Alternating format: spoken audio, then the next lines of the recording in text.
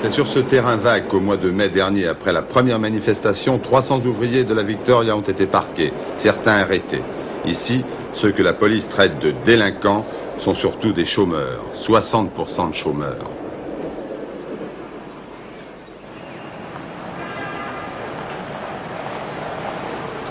Ici, la contestation des beaux quartiers en tapant sur les casseroles apparaît comme dérisoire. Les frappeurs des casseroles ne sont-ils pas des déçus des militaires et qui avaient appelé l'armée au secours il y a dix ans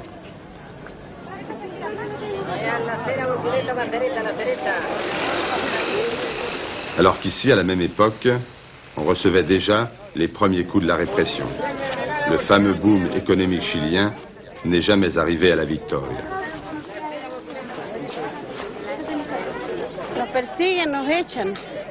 Je dois 32 000 pesos d'électricité. Je dois payer l'eau. J'ai des dettes. Et ici, sur le marché, on nous poursuit parce que nous travaillons. Mais il n'y a pas de travail pour nos maris.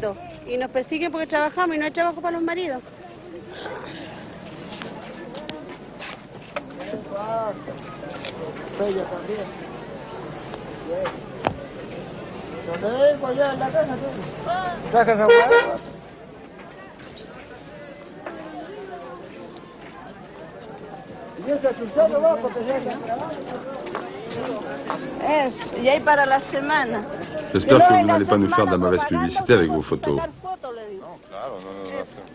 On fait un travail honnête. On ne demande pas l'aumône, on achète, on vend. On trouve de tout dans ce marché. Dans tout le Chili, le Chili est un marché persan.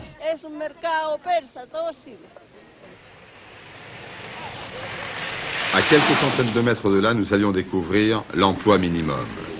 Ces hommes ont perdu leur emploi il y a plusieurs mois.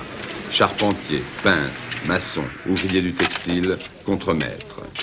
Et pour éviter que les statistiques les ajoutent aux millions 200 000 chômeurs recensés officiellement, le gouvernement les fait travailler 5 heures par jour.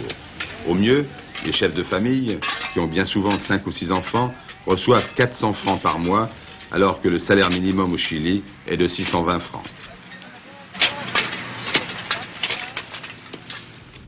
Aux 10 ans de paix, d'ordre et de bonheur, constat du langage officiel, voilà ce que doivent faire près de 550 000 Chiliens. Et toute la ville de Santiago n'est plus qu'un immense chantier où l'on manie la pelle et la pioche. Mais pourquoi faire? Réponse, c'est cela ou rien.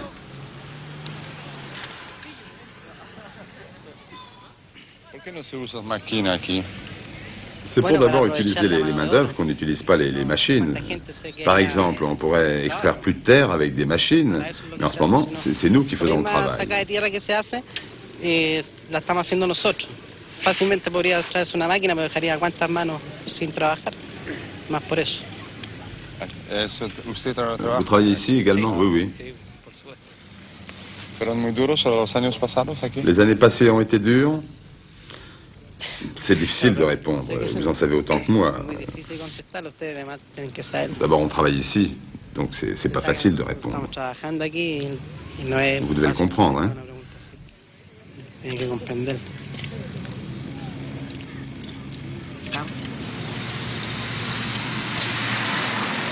Et, comble de la gêne, dans un pays où le machisme est souverain, certaines femmes chiliennes, elles aussi, doivent aller planter quelques cailloux sur le bord des chemins ou des routes afin de toucher les 200 francs ou les 400 francs gouvernementaux.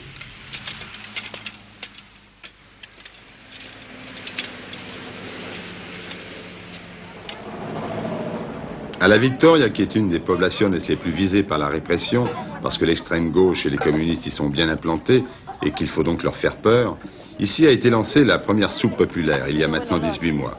L'Église, le Parti communiste chilien, les organisations humanitaires y sont les plus actifs pour solliciter les petits commerçants du quartier qui vous ont donné un oignon, quelques moules, quelques crustacés, du riz, pour faire, comme ce jour-là, la olla.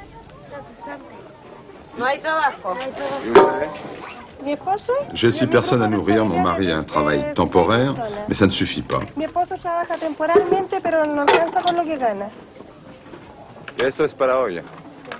C'est pour aujourd'hui, ça. Oui, oui. Cette olla a lieu cinq fois par semaine.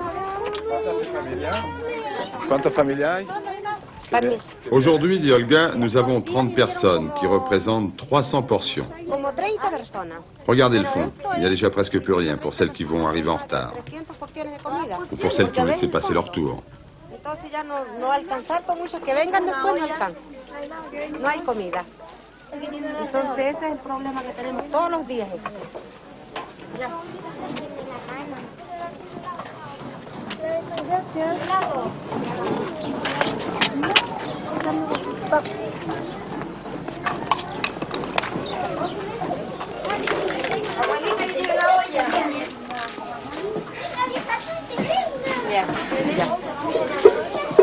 María, ven, ven a echarle, bueno. Cette mère de famille était arrivée en avance, elle est allée chercher son enfant, elle est revenue, il n'y avait plus rien.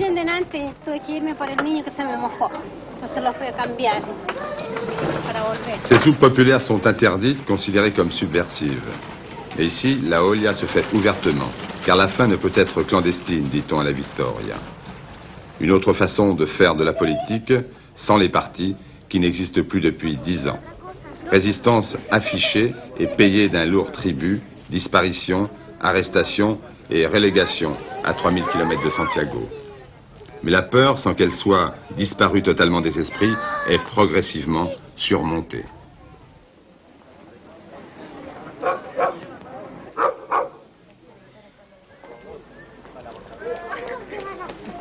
Ah, una cosa, pero no le tengo que decir a nadie.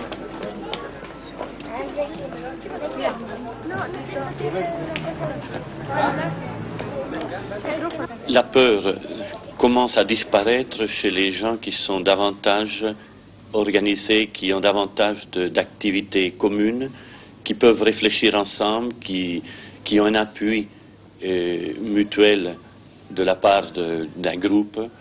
Euh, mais l'ensemble de la population, euh, périodiquement, a peur. Tout le monde a eh, peur ici, car ils ont établi un, cordon de terreur et les gens n'osent pas dire ce qu'on fait chez eux.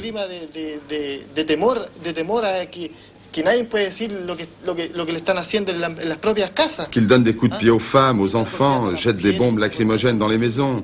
Et donc les gens ont peur de raconter tout ça, ici même à la population. Et moi je pense, je pense qu'il ne faut pas avoir peur. Entonces la gente tiene temor a decir eso. Aquí mismo dentro de la población.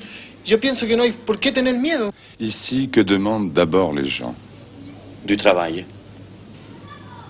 Du travail, c'est le, c'est le, le principal.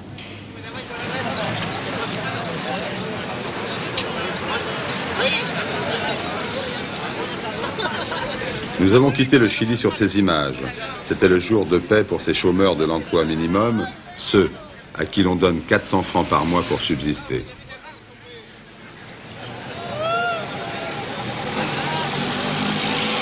Et peu leur importe de savoir qu'aujourd'hui, ils sont par habitant le peuple le plus endetté du monde. 2000 dollars par habitant. Alors qu'on leur avait promis du rêve, télévoiture pour tous les Chiliens, aujourd'hui, un Chilien sur trois n'a pas de travail.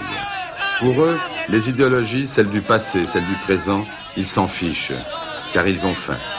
Ceux-là veulent qu'on les entende, qu'on connaisse leur détresse. Ils disent, nous venons chercher notre limosne, notre aumône.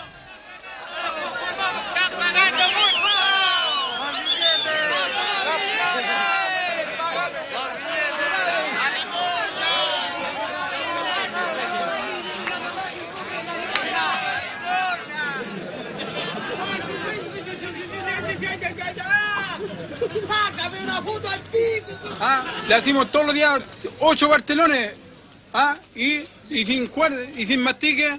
¿ah? El billete ya estamos a 20 ya. ¿Hasta cuándo vamos a estar el, ham- el hambre, la miseria? ¿ah? Cuatro, dos, mil- cuatro lucas mensual es mucha plata. Yo, yo, yo tengo ocho hermanos ¿ah? y yo el que tiro en la casa. ¿Ah? ¿Está buena la humillación ya, po? ¿Ah? ¿Está buena la humillación?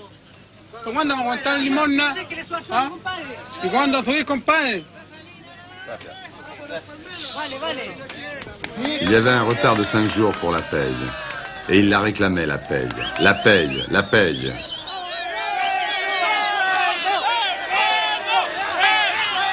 La crise internationale s'en mêlant, il y a bien longtemps que les capitaux étrangers n'arrivent plus jusqu'au Chili. Et d'autres capitaux, moins fidèles, ont déjà fui le Chili de Pinochet.